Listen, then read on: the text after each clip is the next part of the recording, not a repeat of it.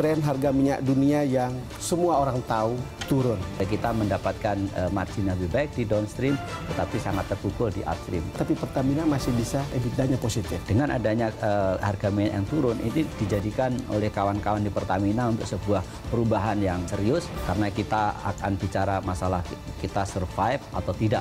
DBS to the point, hanya di Berita Satu, dipersembahkan oleh